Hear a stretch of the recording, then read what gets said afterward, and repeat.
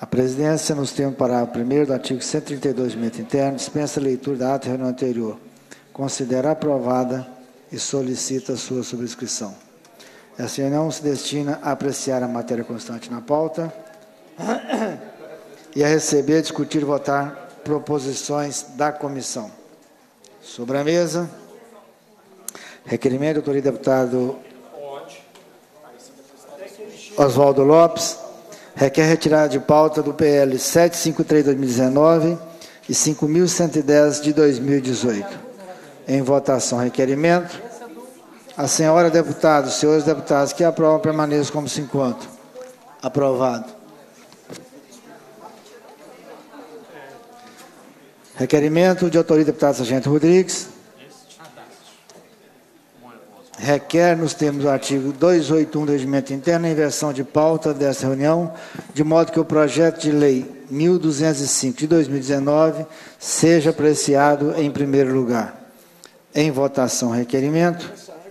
A senhora deputada, os senhores deputados que o aprovam, permaneçam como se encontram. Aprovado. Ô, ô, ô Leonídio, primeiro da pauta, que eu que você é relator. Você é relator, já tem votação. É o 952. 952 é o primeiro. Não, agora aprovou o primeiro. Não, o primeiro continua sendo esse. Não, não, aprovou agora a inversão de pauta. Esse aqui já está em votação. Não, mas aprovou agora. Aprovou a inversão. Inversão, para ser o primeiro. Não, da educação. Então esse aqui vai ser o primeiro. Não mantém esse já está em votação? Não, não. Não, Não, mas aqui, ó. Agora o Qual nós votamos agora? 1205. Projeto de Lei 1205-2019, primeiro turno, dispõe sobre a cessão de direitos creditórios de titularidade do Estado relacionados com a Companhia de Desenvolvimento Econômico de Minas Gerais, CODEMIG. Autor, governador Romeu Zema Neto.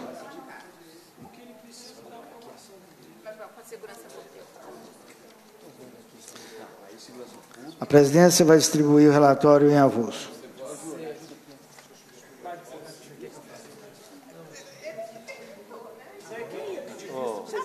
Qual que é esse projeto? O que você recebeu? Codemig, Codemig agora, 1205. Pauta. Isso é acordo.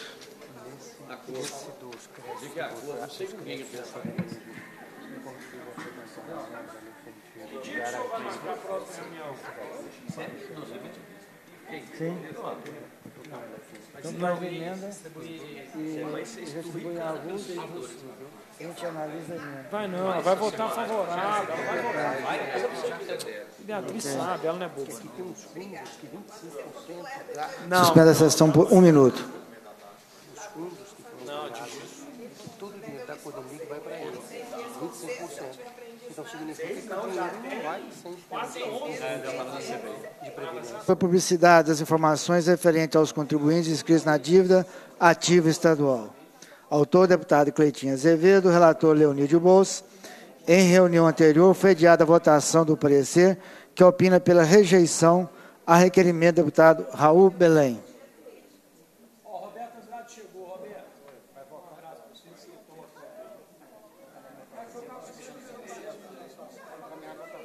Peraí, tá, tá voltando, Cleitinho?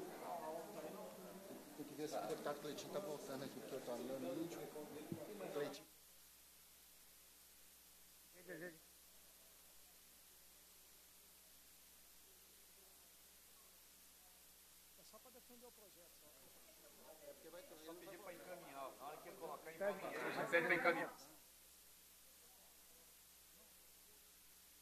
Em, em votação. Tem Vossa Excelência a palavra pela ordem. Boa tarde a todos os deputados. É, quero pedir aqui a atenção dos deputados para poder defender o projeto. O projeto que divulga a lista dos devedores do Estado que estão inscritos na dívida ativa, quem deve tributos ao Estado. Por que, que o projeto é bom? A transparência que o projeto busca já está autorizada no próprio Código Tributário, já está acontecendo em outros estados, como São Paulo, Santa Catarina, Rio de Janeiro. O argumento que pode gerar prejuízo para as empresas não tem fundamento. Em São Paulo é lei e já concentra um terço do PIB nacional. O povo tem direito de saber como o Estado arrecada esses valores não pagos poderiam ser usados na educação, na saúde, na segurança. Nesse momento de crise financeira, onde se discute um plano de recuperação fiscal, essa a transparência é básica para nós. Né? Então, é, eu queria aqui pedir a atenção dos nobres pares para poder aprovar esse projeto e deixar bem claro. Né? Já tive aqui semana passada falando que o projeto é incondicional, já passou pela CCJ e o projeto foi condicional. Então, cabe aqui agora a gente ter consciência e lembrar que o governo tem que ter amigo de rei, não, gente. Não existe isso, não. Né? Tem que ser para todo mundo. Pau que dá em Chico tem que dar em Francisco. Tem uns aí que estão tá ficando sem, sem pagar. O que a gente vai fazer aqui é dar, transparência para que mostre para, para o povo mineiro quem que é os devedores do Estado que não paga o Estado. Né? Porque o, o pequenininho tem que pagar e o grande não paga. Todo mundo tem que pagar. Então, espero que os deputados aí entendam e aprovem o projeto. Muito obrigado. Senhor presidente. Com a palavra, deputado Leonídio Boas, pela ordem. Senhor presidente, é, estive quatro anos presidindo a Comissão de Constituição e Justiça. Hoje nós estamos aqui na Comissão de Administração. Sei da nobre intenção do deputado Cleitinho, só que, no nosso parecer, nós destacamos aqui que a lista dos maiores devedores inscritos em dívida ativa, no que se refere aos impostos, ICMS, que é o tributo de maior expressão do Estado, já é acessível mediante pesquisa no sítio eletrônico do Tribunal de Contas Estadual, no escopo do relatório sobre a macrogestão e contas do governador do Estado de Minas Gerais. Cabe ainda destacar que o fato de um contribuinte estar em débito inscrito em dívida ativa não significa que esteja em situação irregular perante o fisco, isso porque os referidos débitos podem estar inscritos em dívida ativa e estar também parcelados, garantidos ou com exigibilidade suspensa, o que implica dizer que o contribuinte estará regular perante a administração fazendária. Outro aspecto que eu gostaria de levantar, que as pessoas não gostam de estar é, em débito com o fisco, com as empresas. Nenhuma delas gosta, porque é, quando uma empresa está em débito, por exemplo, com o INSS, não tem o certificado, por exemplo, ela não pode participar de vários negócios. Então, uma empresa, existe aqueles que estão com dívida ativa e fazem os acordos para pagar as dívidas porque tiveram dificuldades na condição dos seus negócios. Nós temos que ter no Brasil é, um grande respeito também com quem cria empregos, quem dá renda. Nós não podemos é, estar menosprezando o trabalho dessas pessoas. Eu já vi muita empresa quebrar no Brasil com ações trabalhistas que foram julgadas de maneira totalmente inadequada, perversa. Então, as pessoas têm que ter respeito com aqueles que trabalham. Na verdade, o ser empreendedor não é uma escolha. Não é uma escolha ser empreendedor. Ser empreendedor é uma dádiva ou, na verdade, é algo que Deus dá para a pessoa, talvez não seja nem como dádiva, é uma obrigação que ele tem que cumprir. Porque ser, algumas pessoas nascem para ser empreendedores, outras nascem simplesmente para trabalhar sem a necessidade de ser empreendedores. Colocam em risco seu patrimônio, o patrimônio que criam. É muita coisa que significa essa palavra empreender. Por isso eu tenho muito respeito com os empreendedores e nos países que conseguiram é, sair da condição de miséria, de pobreza, são países que batem palma para os seus empreendedores. Nós não podemos aqui julgar a sociedade brasileira quando quem empreende. Então, eles têm que cumprir a lei, têm que ser penalizados se não estão cumprindo aquilo, mas não têm que ser escancarados de maneira pejorativa, já porque se existem, como o projeto pretende aqui, deputado Cleitinho, como Vossa Excelência, ele já, já existe na lei local onde pode ser encontrado esses devedores. Então, por isso que o nosso parecer ele visa realmente preservar os empreendedores sem, é claro, abrir mão de exigir aquilo que eles devem para o Estado. Então, o meu caminhamento é solicitar aos senhores deputados que realmente é, possam estar de acordo e votem a favor do nosso parecer. Muito obrigado, presidente.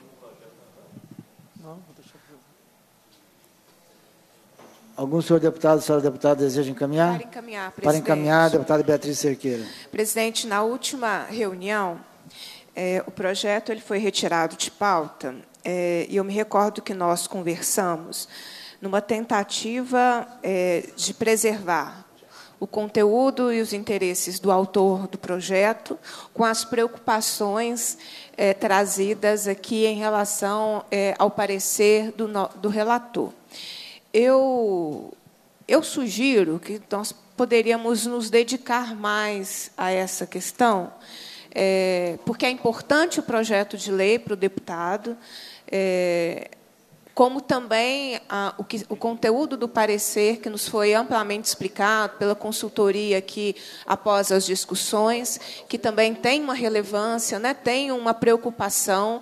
Eu sugeriria que, se nós pudéssemos nos dedicar mais a construir aquilo que preserva o interesse do autor, com os apontamentos é, trazidos pelo parecer do, do relator, de modo que a gente não submeta, nesse momento, a uma votação que pode pode derrotar ou o projeto do ou o autor do projeto ou o relator é, da matéria. Então, eu queria ver com os colegas se, dentro das possibilidades regimentais, se nós não poderíamos ainda assim ter esse esforço de construção para que não tivéssemos nem o autor do, do projeto de lei, nem o relator do projeto serem derrotados no esforço de avançarmos dentro do que é o interesse do autor e dentro das preocupações apresentadas pelo relator.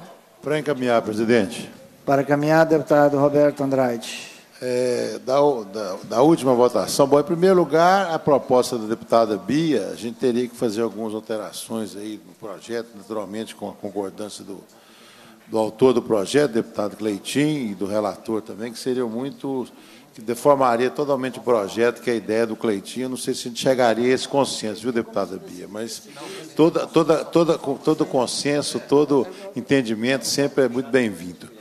Mas, independente disso, a gente não sabe qual vai ser o encaminhamento, eu não poderia deixar de manifestar aqui minha opinião sobre o seu projeto, Cleitinho. Você é um deputado que chegou aqui na casa, hoje é uma referência. Mas, quando você fala em devedor, eu me preocupo muito. Hoje, o grande problema não é o devedor. Empreender no Brasil, Cleitinho, no nosso Estado, é uma luta. Você, a dificuldade que você tem hoje para você conseguir um alvará na prefeitura, uma licença ambiental, você conseguir uma, um registro na junta comercial, é uma luta. O, quem hoje gera emprego é, é uma luta. A taxa de juros que o empresário paga no Brasil é 3, 4, 5% ao mês. Quando no Japão a taxa de juros é negativa. Hoje o Japão, os bancos do Japão estão dando dinheiro, a, a taxa de juros negativa para o empreendedor criar empregos. Quando aqui no Brasil ele tem é, duas bolas de ferro penduradas na perna. Uma é a alta taxa de imposto e hoje e a outra é a alta taxa de juros que ele tem para empreender. Eu acho que o maior problema do, do empresário no Brasil hoje não é você expor aqueles que nós estamos devendo é o sonegador em si, que é muito diferente daquele que declara o seu imposto e depois ele não tem condição de pagar. Esse tem, tem, tem o, o meu respeito, porque ele foi e declarou: eu vendi, declara para a Receita Federal, para a Receita Estadual, fala: eu vendi, eu, eu, eu faturei e eu não tive condições de pagar. Esse empresário tem o meu respeito. O que não tem o meu respeito é aquele que vende sem nota, que vende com meia nota, que vende é, na calada da noite, faz entrega, tanto aquele que compra quanto aquele que vende. É aquele empresário que você chega numa loja e fala assim: ó, se você comprar sem cartão, no dinheiro, é mais barato, mas não é pela taxa do cartão, porque quando ele vende sem cartão, ele pode vender sem nota. É esse o empresário que a gente tem que combater. É porque aí ele está sonegando.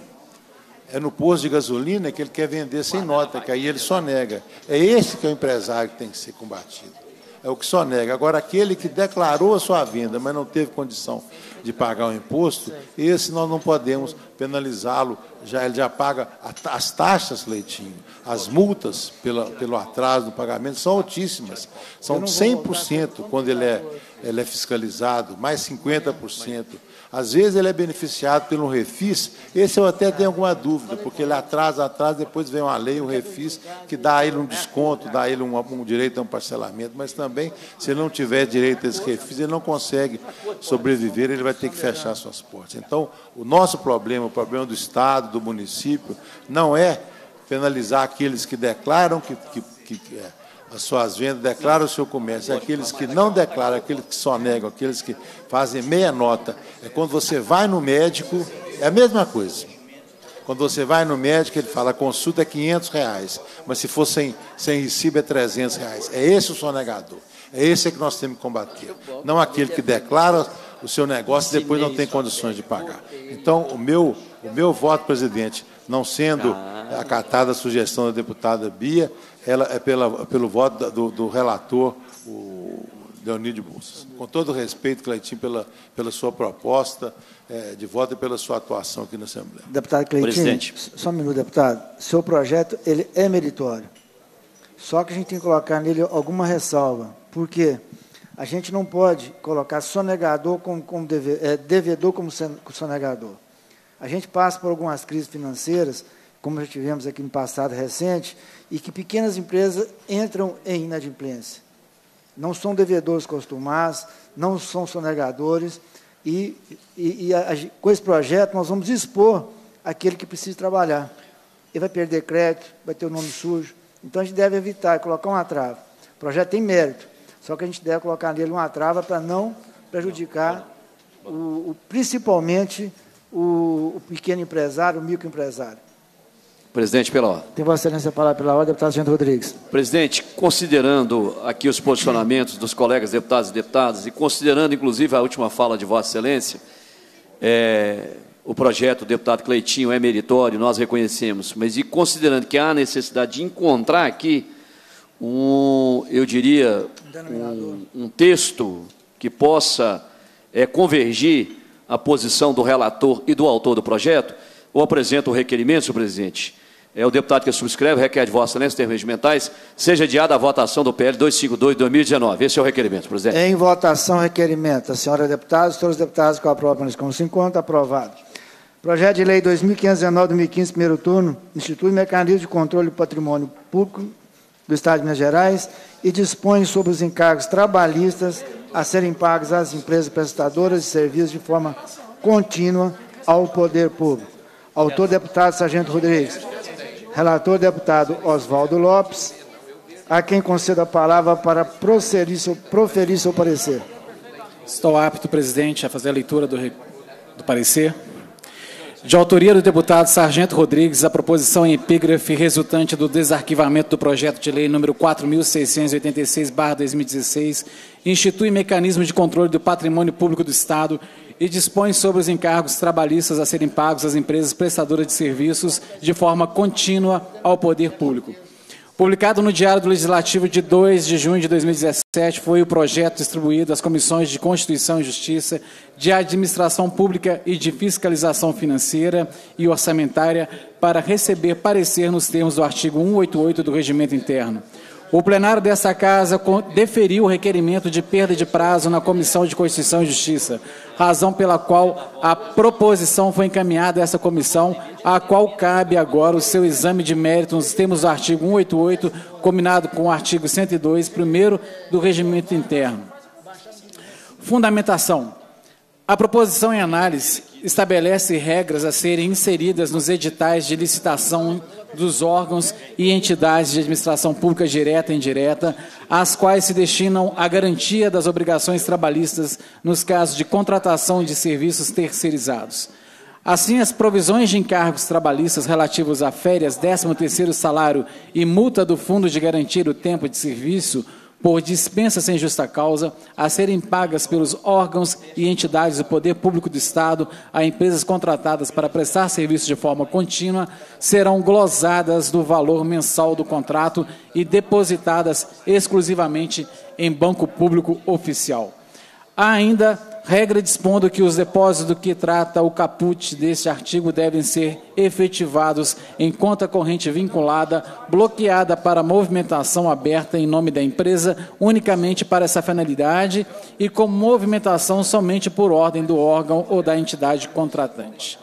Além disso, a solicitação de abertura e autorização para movimentar a conta corrente vinculada, bloqueada para movimentação, serão providenciadas pelo setor responsável do respectivo órgão na forma do regulamento. Como é sabido, as contratações realizadas pelo poder público e suas entidades descentralizadas devem ser precedidas de processo licitatório, procedimento por meio do qual a administração seleciona o contrato mais vantajoso, salvo nos casos de dispensa ou inexigibilidade. Na fase de habilitação, o Estado verifica a documentação apresentada pelos licitantes, oportunidade que será verificada a aptidão técnica financeira da empresa para execução da atividade. Portanto, houve consenso dos ministros do, STF quanto à constitucionalidade do artigo 71 da Lei 8.666-1993, prevalecendo a tese que o TST não poderá generalizar os casos, razão pelo qual terá de investigar em face da situação concreta se a inadimplência da empresa privada tem como principal a falta de fiscalização pelo órgão público contratante. Conclusão. Em face do exposto, opinamos pela rejeição do projeto de lei número 2519-2015. Obrigado, deputado. Em discussão, o parecer. Presidente, eu peço... 2519.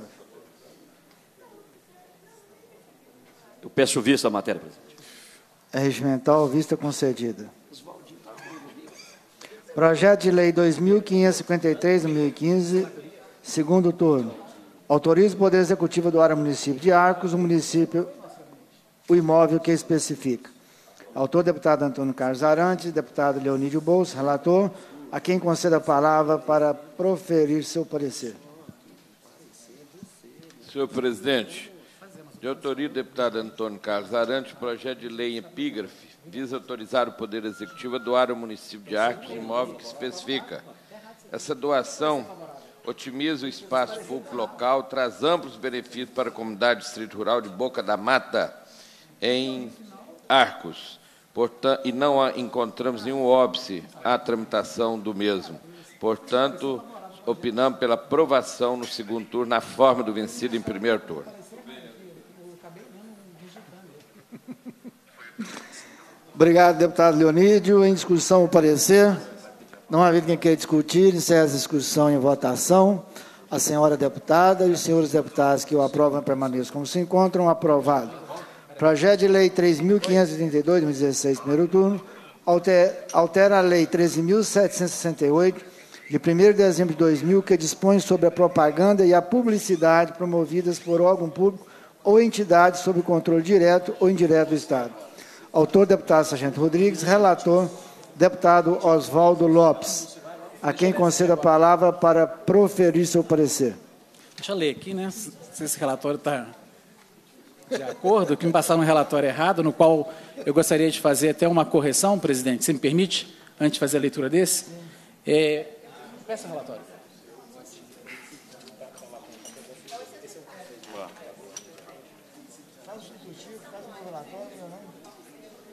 Posso fazer um, Pode. uma justificativa verbal, não? Pediu vista. Você pediu vista já? Pedi vista, mas não parecia não, mas, mas eu não posso fazer a... a... Não, não, não. Na próxima. Na próxima. Na próxima? Mas, não, mas deixa registrado que você orientou. Tá. Presidente, só para registrar, esse parecer aqui não está totalmente contraditório ao que foi sugerido pela minha equipe do gabinete, o assessor jurídico, no qual nós estávamos encaminhando pela aprovação. Então, na leitura aqui, eu acabei lendo um projeto que estava dando uma recusa ao projeto de lei do nosso nobre e amigo deputado Sargento Rodrigues, eh, no qual, no próximo, na próxima reunião, Sargento, eu faço questão de fazer essa retificação tá? É, a gente atualizando isso aqui pela aprovação. Obrigado, Oswaldo. Vamos lá. Agora vamos aqui fazer uma, uma nova relatoria. Parecer para o primeiro turno do projeto de lei número 3.582, barra 2016. De autoria do deputado Sargento Rodrigues. De autoria do deputado Sargento Rodrigues, o projeto de lei em epígrafe altera a lei número 13.768, de 1 de dezembro de 2000, que dispõe sobre a propaganda e a publicidade promovidas por órgão público ou entidade sob controle direto ou indireto do Estado. Em razão do disposto do artigo 140 do Regimento Interno dessa Casa, a Comissão de Constituição e Justiça não emitiu parecer sobre a matéria, cabendo agora a este órgão colegiado emitir seu parecer sobre o mérito da proposição conforme preceita o artigo 102, 1 do mesmo regimento. Fundamentação. Estatui o artigo 1, primeiro da proposta, que a lei de número 13.768, de 1 de dezembro de 2000, passaria a vigorar acrescida do seguinte artigo 4 é, a linha A, eh, a propaganda e a publicidade que trata essa lei deverão ser promovidas preferencialmente por meio de utilização de estrutura pública de mídia, som e imagem jornalística já existente em órgão público ou entidade sob controle direto ou indireto do Estado, inclusive de seus poderes. Parágrafo único não se aplica ao disposto no caput desse artigo nos períodos de condutas vedadas aos agentes públicos em campanhas eleitorais nos termos do artigo 73 da Lei de número 9.504, de 30 de setembro de 97, que estabelece normas para as eleições. Por sua vez, estabelece o artigo 2 nova redação para o artigo 5 da Lei número 13.768 de 2000 nos termos seguintes. Artigo 5 os órgãos e as entidades a que se refere o artigo 1 desta lei adotarão procedimento licitatório para a contratação de agência ou agenciador de propaganda de empresa especializada em serviços promocionais ou de empresa prestadora de serviços similares, demonstrada a ausência de vínculo de parentesco com cônjuge, companheiro ou parente em linha reta colateral ou por afinidade até o terceiro grau, inclusive da autoridade contratante ou de servidor da mesma pessoa investido em cargo de direção, chefia ou assessoramento. Em sua justificação, alega o autor que o presente projeto de lei visa alterar a lei número 13.768 de 1 de dezembro de 2000, que dispõe sobre a propaganda e a publicidade promovidas por órgão público ou entidade sob controle direto ou indireto do Estado, de modo a promover maior economia aos cofres públicos além de agregar aos procedimentos licitatórios maior transparência, moralidade e boa-fé, conforme pleito da sociedade comprometida com o interesse público. Diante de cenários que demonstram dificuldades financeiras dos entes federados e, em especial, Minas Gerais, cujo atual governo divulga o comprometimento do erário e atrasos no pagamento dos servidores públicos, imaginar um gasto de 100 milhões com publicidade requer a adoção de medidas possíveis, para tanto, a proposição em comento estabelece preferência pela utilização de estrutura pública de mídia, som e imagem jornalística já existente em órgão público ou entidade sob controle direto ou indireto do Estado, inclusive de seus poderes, a contratação de terceiros. Traz ainda a necessidade de restarem justificados os gastos e os motivos para a terceirização do serviço, além de pôr limite de despesas como forma de eliminar gastos vultosos nessa seara, comumente utilizado para realizar promoções pessoais, publicidade destituída de qualquer motivação institucional. Dizer que a propaganda e a publicidade de entidades públicas deverão ser promovidas preferencialmente por meio de utilização da estrutura estadual da mídia, som, e imagem e jornalística é providência que contribui seriamente para a lisura desses procedimentos, que serão implementados por agentes públicos sujeitos à fiscalização de órgãos públicos e da própria sociedade. Ademais, a medida pode redundar em evidente economia para os cofres públicos, já que não haverá de se computar no custo do serviço o lucro do prestador do serviço. Quanto à vedação de contratação de agentes publicitários com grau de parentescos com autoridades públicas estaduais, nota-se que a ideia concretiza o princípio da moralidade incerto no caput do artigo 37 da Lei Maior. Em linhas gerais, a proposta aperfeiçoa o sistema normativo aplicável aos contratos de publicidade e propaganda praticados no Estado, razão pelo qual merece ser aprovado por esta comissão. Em face do exposto, opinamos pela aprovação do projeto de lei número 3.582-2016. Obrigado, deputado. Em discussão, parecer. Não havendo que querer discutir, encerra a discussão em votação. A senhora deputada, os senhores deputados que aprovam, permaneçam como se encontram. Aprovado. Projeto de Lei 3.611 de 2016, no primeiro turno, proíbe o emprego ou empenho das policiais militares e civis, bombeiros militares, agentes penitenciárias e socioeducativas, quando gestantes e lactantes em atividades operacionais e trabalho em locais insalubres no âmbito do Estado. Autor, deputado Sargento Rodrigues, relatora, deputada Beatriz Cerqueira, quem concede a palavra para proferir seu parecer. Perfeitamente, presidente. De autoria do deputado Sargento Rodrigues, projeto de lei 3.611 de 2016 proíbe o emprego ou empenho das policiais militares e civis, bombeiros militares, agentes penitenciários e socioeducativas quando gestantes e lactantes em atividades operacionais e trabalho em locais insalubres no âmbito do Estado. O projeto de lei tem a relevância da proposição é clara, dado que busca resguardar o direito à saúde e à integridade física das mulheres que desempenham diferentes papéis sociais, agentes públicos de segurança e mães. Para protegê-las ao desempenhar o papel de mães, a proposição busca vedar que elas, no exercício do cargo de agentes do sistema de defesa social do Estado, trabalhem em locais insalubres durante o período compreendido pela gestação e amamentação. Assim como bem ressaltado na justificativa da proposição, busca-se dar concretude ao direito social de proteção à maternidade e à infância previsto no, no artigo 6 caput da Constituição Federal. Diante do exposto, somos pela aprovação do projeto de lei 3.611-2016, de autoria do deputado Sargento Rodrigues, ao qual eu parabenizo pela importante iniciativa. Obrigado, deputada. Em discussão, o parecer. Não havendo quem queira discutir, encerra a discussão em votação. Para, a senhora deputada, senhores deputados. Para encaminhar. Para encaminhar, deputado Sandro Rodrigues. Presidente, eu queria apenas agradecer à relatora pela, pela compreensão da proposta. Deputado Roberto Andrade, o projeto de lei 3.611, é, ele proíbe o emprego das policiais militares, policiais civis, bombeiras, agente penitenciário socioeducativo, enquanto gestante e lactantes. Porque é muito natural. É, quem assiste de perto a, a uma gravidez da esposa ou de uma filha ou de algum parente ou de alguma pessoa que está próxima, a gente sabe perfeitamente os cuidados que deve ter uma gestante.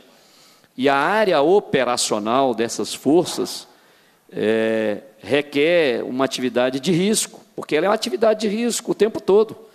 E algumas com contato com áreas completamente insalubres, como é o caso de um agente penitenciária ou socioeducativo, porque está em contato ali permanente. Ou, às vezes, é, determinadas funções na área operacional. Nós não podemos admitir que uma mulher grávida vai correr atrás de um marginal com a arma na cintura, porque é, é não há nada que consiga convencer que é viável uma mulher que esteja grávida. Às vezes, mesmo que ela esteja nos primeiros meses de gestação, é muito difícil. Às vezes, um, um obstáculo que ela vai pular, um esforço a mais que ela vai fazer, ela acaba podendo ter uma complicação na sua gravidez. Então, é mais do que justo que a gente traga para o texto, no âmbito do Estado, essa proibição. E a proibição é no sentido de que ela seja realocada dentro da sua atividade. Nós temos aqui várias servidoras, que são assessoras da comissão, e que estão é, é grávidas, tocam a gravidez até no último mês da gravidez. Mas por quê? Porque está num ambiente completamente diferente. E mesmo assim, todos os seus colegas e colegas de trabalho ter um enorme carinho, uma atenção, um cuidado com aquelas que estão no nosso entorno. Nós temos temos aqui uma uma assessora aqui, inclusive está acompanhando e sabe. Imagine, ela mesma é que pode nos dizer, né? Como seria fardar, colocar uma arma na cintura, coturno, algema, embarcar de uma viatura e desembarcar o tempo todo para fazer a abordagem, e muitas vezes abordando sem dar tempo, inclusive, de colocar luva. A atividade policial é assim, você não tem esse tempo, ah, pede aí que eu vou pegar uma luvinha, colocar. E isso para uma mãe não é nada é, prudente. Então é nesse sentido, então eu queria agradecer o melhor acolhimento. O projeto já passou, inclusive, na Comissão de Mulheres, também recebeu um parecer favorável. Esperamos agora, presidente, que ele tenha a melhor acolhida em plenário, porque todo o cuidado que nós possamos ter com uma mulher gestante ou lactante, todo o cuidado ele é muito bem-vindo. Né? Hoje nós temos uma licença de seis meses, mas eu ainda quero ver uma licença de uma gestante não de seis meses, de um ano, porque assim ela terá condições realmente de dar a atenção ao seu filho é, necessária, necessária para que a criança desenvolva com atenção e os cuidados maternos. Encerrada a discussão, em votação, a senhora deputada, os senhores deputados que aprovam, permaneçam como se encontram, aprovado. Passa-se a segunda fase, discussão e votação de proposições que dispensa apreciação do plenário. Requerimento 3.190, 2019, turno único. Requer seja encaminhado ao governador do Estado e ao Departamento de Edificações e Estradas de Rodagem Minas Gerais, DERNG, pedido de providências com vista à cessão do uso do imóvel que se encontra ocioso para o funcionamento das unidades de Polícia Civil e Militar em Monte Carmelo. Autor, deputado Elismar Prado. Em votação, requerimento. A senhora deputada e senhores deputados que o aprovam permaneçam como se encontram. Aprovado. Não há requerimento na terceira fase. Portanto, Cumprida a finalidade da reunião, a presidência agradece a presença dos parlamentares, das senhoras e senhores convidados e convoca reunião extraordinária para amanhã, dia 30 de outubro, às 10 horas, com a finalidade de votação, de discussão e votação do projeto de lei 2519 de 2015 e do projeto de lei 1205/2019. Determina a levatura da ata e encerra os trabalhos.